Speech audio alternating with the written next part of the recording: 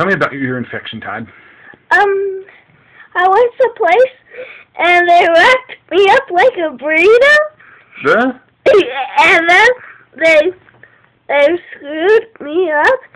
Um, they screwed my ear up Huh?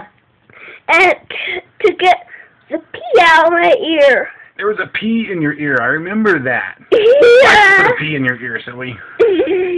I, I put in there and I squished it in there. It was a And I was, came out. and I was, nope, nope.